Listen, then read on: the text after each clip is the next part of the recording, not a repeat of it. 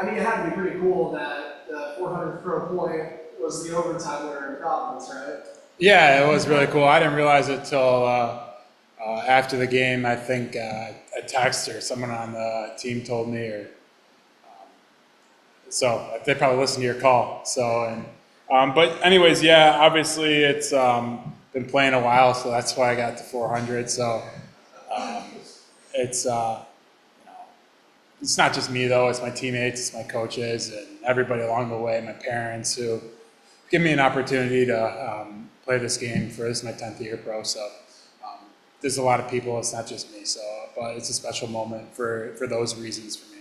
Um, can you sort of play back? It was it was Rosén, right? Like, Yeah. what was a turnover at the top of the zone, and you were right place, right time with the front of net. still? Yeah, yeah. Um, I think they were obviously Kulich has a tremendous one timer on the far side, so I think they were respecting that, and um, just was able to slide off on the backside and um, um, caught it and then beat it back the blocker side. So it was uh, it was a big win for our team. So just you know that's the most important thing. Um, you guys are on a six-game winning streak. Mersch, you've been here for what now? Four years with the Amerks. Is this the best this team has looked in your time here?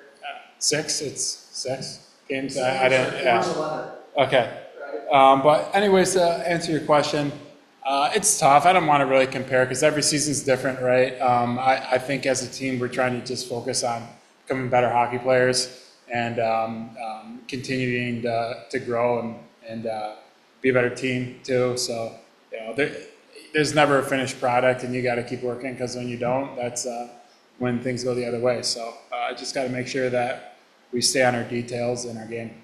Do you think you guys have kind of this um, killer instinct, never say die? Like Saturday, you're down midway through for an 18 year old gets a game tying goal. Mhm. Sunday, you're up four nothing.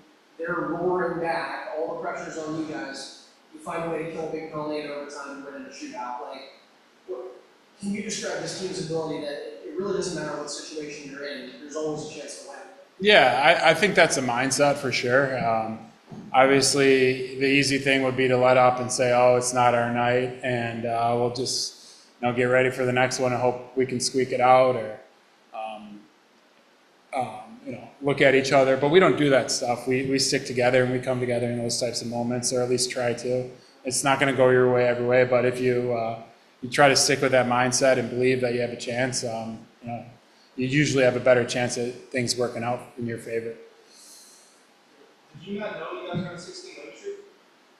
I just, I honestly don't, don't uh, um, try to focus on that stuff. You know, the next game is the most important one, to be honest with you. So, um, just trying to focus on becoming better um, um, and just, just sticking with the process because it, it, it, that stuff is in the past now, re- really. So, yeah, honestly, just trying to stay in the moment. You know, it's, I think that's important as an athlete. Absolutely, but does it feel like you guys have just been, the last month and a half, things have just been celebrating more in the locker room after wins and you just flush it and go to the next thing? Yeah, yeah. I mean, they're they're so important at this time of year. Like, if you look at our standings, like, no matter like if you're, um, no, I mean, you know, there's still a lot of spots and teams can jump and and move in different spots. So, um, I think, you know, because of that situation, it it, it, it forces us to,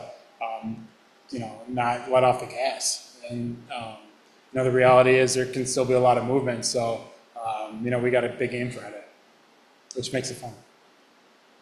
You know, Jiri was just in here talking about how, you know, previously in his career, his job was just to score goals, play offense. This Yeah. year he kind of had more put on his plate, and it was tough for him. The scoring kind of slowed down a little bit. He said he dealt with some challenges. How have you seen him, you know, grow throughout the season and kind of deal with some of those, you know, difficulties this year? Yeah, it, it, I mean, if you look back from the beginning of last year when he got here to who he, you know, to now at this point, um, his his growth has been awesome. And you got to remember, is he was he 19? Is he 20? Is he 20 yet?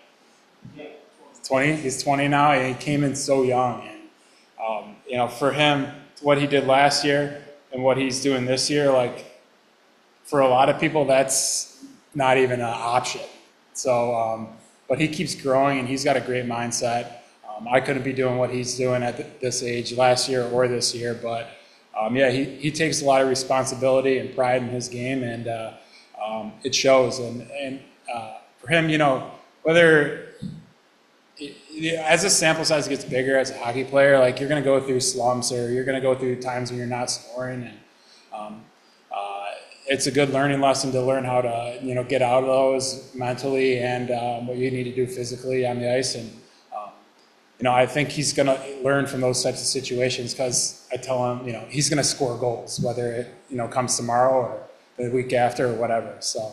Um, it, you know, he's had a lot of good learning experiences, and I think that uh, um, he uses those in the right way to uh, become a better hockey player.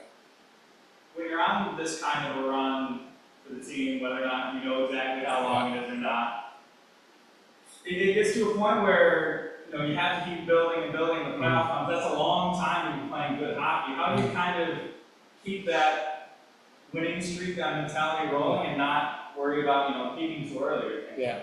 Yeah, I mean, obviously, I don't want it to seem like I don't know what's going on around the ring. you know, Uh, you know, I, I'm aware that uh, um, we're in a fight for the playoffs to make the playoffs, and um, every game's important. Uh, and uh, you know, we're we're trying to keep it simple, and you know, just what like like I said. But um, um, I think just sticking to um, what we do here. You know, we we have a certain schedule, we have a certain routine try to stick in that routine, whether it works that day or works, you know, the next day or that night. Um, we try to stick to what we do here and um, be consistent, and you know, we think that that works in the long run. So, like I said, whether it works today, tomorrow, or whatever, um, we just try to stay consistent so that we have opportunity to play our best hockey. Our coach talked about last season, being such a young team, that experience breeds confidence, because you've been through something before. The way that you guys have been able to win the last month or so, different ways, kind of like you're saying, is there a sense of calmness on the bench when you have a four goal lead, you lose it, and instead of hitting the panic button, there's a sense of like, all right, like, still fine, like, Mhm. let's just go the game. Like, do, do you guys feel that calmness on the bench in all those situations? Down one, up one, blowing a four goal lead, or the ability to come back and chase? Yeah, yeah, I think that is uh, something that we've learned to, to deal with over uh, my time period here. Uh, um, and, um, you know, we've, like, if you look back to last year in playoffs, sometimes it didn't work in our favor that game, but it worked in our favor for the next game, right? So, um, um, yeah, I think it's it's definitely experience, and there's been um, um a lot of growing for me too, uh, and uh, um, um, you know, playoff experience is important.